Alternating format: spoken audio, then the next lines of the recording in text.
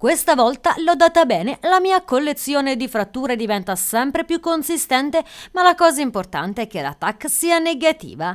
È lo stesso Andrea Dovizioso a rassicurare i tifosi con un post social dal letto dell'ospedale Careggi di Firenze. L'ex campione del mondo di moto era infatti caduto martedì mattina sul circuito valdarnese del Motor Park Il Tasso a Terra Nuova Brecciolini durante una sessione di allenamento. Ha riportato la frattura della clavicola oltre ad un lieve trauma cranico ed alcuni alcune contusioni. La prognosi di guarigione è di 30-40 giorni. Il pilota 38enne, ex campione del mondo della classe 125 nel 2004 e poi protagonista di tante vittorie con la Ducati in MotoGP, conosce bene la pista valdarnese. Con lui al momento dell'incidente c'era anche Alessio Chicco Chiodi, ex campione mondiale di motocross che vive in Valdarno e che è amico da sempre del centauro romagnolo. Per cause ancora da accertare, il campione ha perso il controllo della sua moto finendo rovinosamente a terra. Il motociclista di Forlimpopoli è stato immediatamente soccorso e trasportato con l'elicottero Pegaso all'ospedale fiorentino di Careggi in codice rosso.